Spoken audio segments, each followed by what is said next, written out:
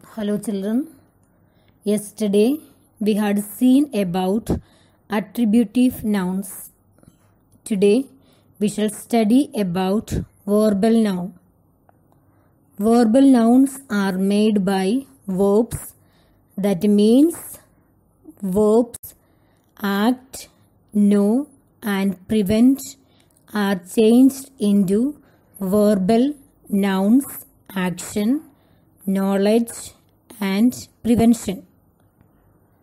Go through the table below and understand how the verbal nouns are made. Do the exercises in your copy. Thank you.